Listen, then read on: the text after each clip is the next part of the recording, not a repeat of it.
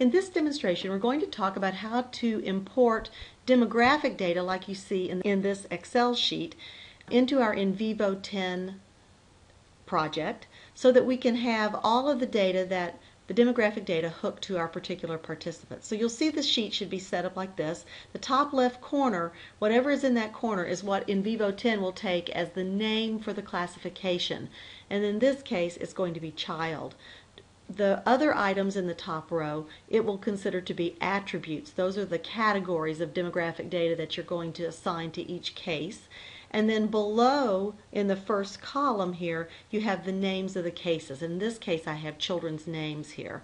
Now, if it turns out that you um, have children who have the same first name, such as you've got two Dianas, you will need to make a change in your Excel sheet before importing so that you have a unique identifier for each case. So it needs to say Diana 1, Diana 2, or whatever, however you decide to solve that problem.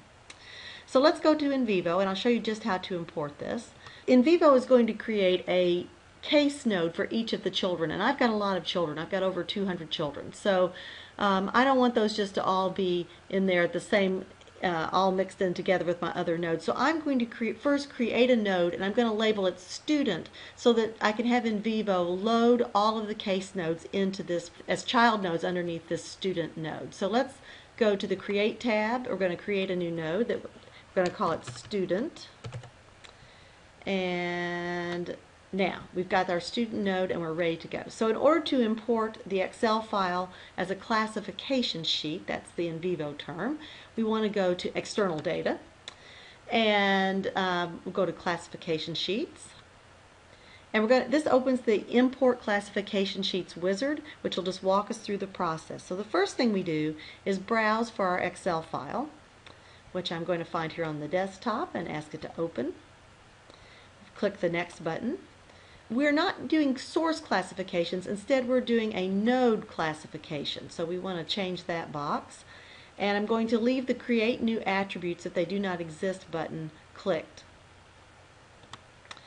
On the next screen, um, specify how nodes are represented in this file. As you saw in, in our Excel file, mine are represented as names. And I, as I said, I want to I want NVivo to put those in the student folder. So I'm searching for that student folder so that the location for these nodes in this project will be nodes and then the child student folder underneath it. We're going to select that. I'm leaving the create new nodes if they do not exist checked.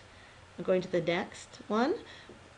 For unassigned values, I'm going to let the program just type in the word unassigned. And if there's something that's not applicable, which I don't really have in this particular file, I'm going to leave the word not applicable. I need to check the date order, month, day, and year is correct. However, the date delimiter is not a forward slash in my file. Instead, it's a dash. I need to, to correct that before I ask it to import. And then I'm just going to click Finish.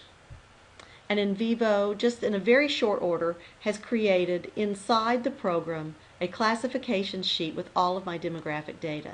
So here we see all the students listed down the left, and then we see each of the attributes across the top. Now, if we look at a particular cell, for instance, let's take, let's, we're going to be talking about Diana, so let me find Diana's um, entry here in the classification sheet. Here she is. I'm going to click on that. If we look here, it says that she is at school AG. If, for instance, if there were a mistake and we needed to change that, if we would, if you will click the little triangle right in that box, you have all of the attributes values that have been loaded in within NVivo, and you could select a different one if you needed to. When you click the little triangle, you see all of the available values. Later, I'll show you how to create new values as well.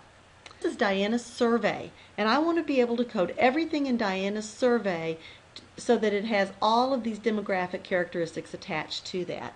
And so in order to do that, for a source that's already uh, in your program, you, you want to select the document file, as I have just done here. You want to go to the Analyze tab at the top, and we're going to code the source at an existing node we're going to look in the student folder where, where we should find Diana. And I'm going to click the button next to Diana and click OK. And now everything in the classification folder in on Diana's row has now been hooked to Diana's survey file. Let's do the same with Imari. So here I'm going to click on Imari, go to the Analyze, Analyze tab. I'm going to code the source at an existing node, and I just need to look for Imari's node. Here he is. We're going to click OK. And I'll do one, the last one, Kalia, same sort of thing. I'm going to go to the Analyze tab, code sources at existing nodes, and I'm going to look for Kalia. Here she is, and I'm going to click OK. Now, if we wanted to see um, how these, what this coding on the survey looks like, if you'll go to the nodes in navigation view, we're going to we're going to close that, and um, let's let's take one. Let's look for one of this. Let's look for Diana's. Let's look at her source. Now let's look at coding stripes. And you see that it's coded to Diana, it's coded to journal process, and learn words.